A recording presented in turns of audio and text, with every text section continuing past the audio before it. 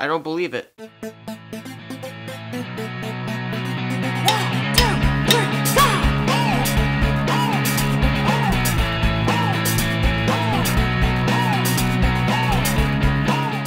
Salutations, everybody. Welcome to Maffman Jones Movie Reviews. I am your host, John Maffio. Today's featured film is Robocop, the reimagining of the 1980s cult classic. And this one stars in the title role Joel Kinnaman, along with Gary Oldman, Michael Keaton, Samuel Jackson, and Jay Baruchel. Obviously, the story has been updated for modern times and is more of a political social commentary going on, but for the most part the story is the same. We have a average everyday cop who is a family man and he has a partner and he gets fished out. He gets fried. His car alarm goes off right when he's about to have sex with his wife, so you could basically call his sedan a cock blocker.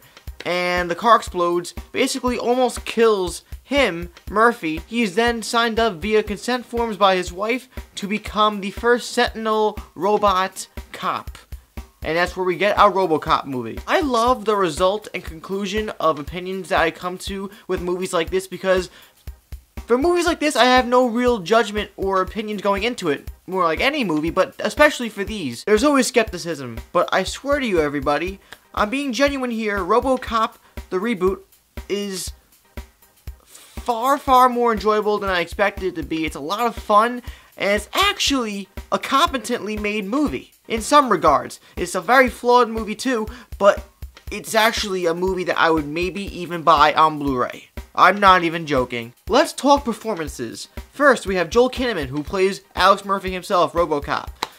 Now, I feel as though many actors could have stepped into this role and made it their own. Joel Kinnaman actually did a very convincing job here, and he did really good.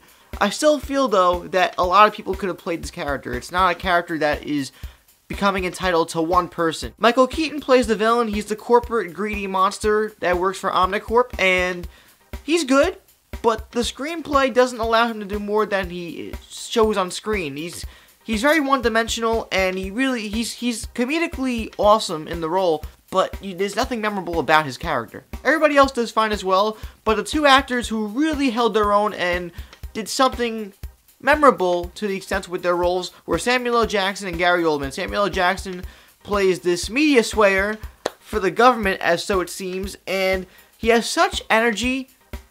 Samuel Jackson, that's all I have to say. He, he brings this kinetic energy that you can't help but love. And Gary Oldman is always great in everything. He always has a way of bringing leverage and credibility to a film. Unless it's Little Red Riding Hood.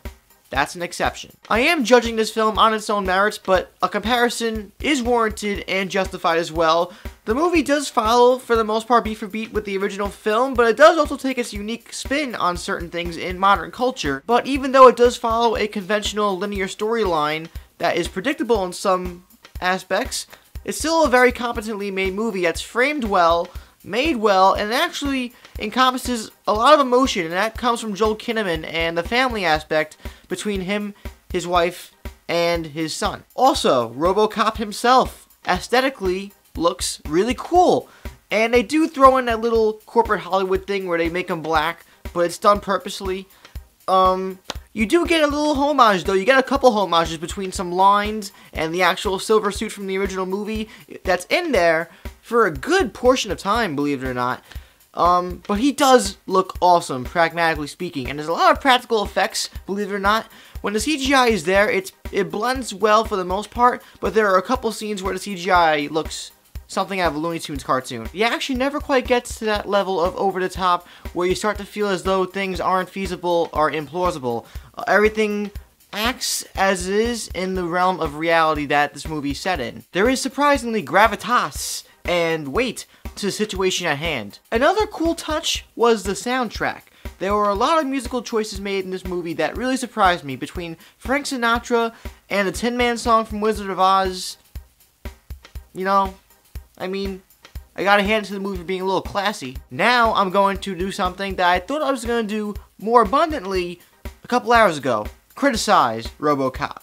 Um, the screenplay is lackluster and haphazardly constructed in terms of dialogue and story, but it's RoboCop, so it's okay. Um, the characters, for the most part, aren't memorable aside from a couple because the actors made the characters their own. And I also felt like the editing got a little clunky at times with the transitions between scenes because some a couple scenes at least felt forced. Other than that, I have to say that RoboCop was a pleasant surprise. It wasn't a great movie, wasn't all that memorable either, but it was a it was a blast, and I had a lot of fun watching it, and I would gladly watch it again when it comes out on DVD and Blu-ray. I'm gonna give it a full course Applebee's meal. It's a three out of five stars. I did not expect this, guys. I really didn't. I thought it was gonna be a piece of poop. Time to turn the tables. The pressure is on you. Have you seen the new RoboCop or the old one from the 80s? If you've seen both, let me know what you thought about both of them. Compare them if you want in the comments down below. Did you like the new one like I did, or were you feeling differently? Please like this video, subscribe to Maffman Jones so you'll never, ever, ever, ever, ever miss a review from me ever again. Please check out Facebook, Twitter, and We Live Film in the info box too. I'm John Maffio, and y'all move, creep. See you next time.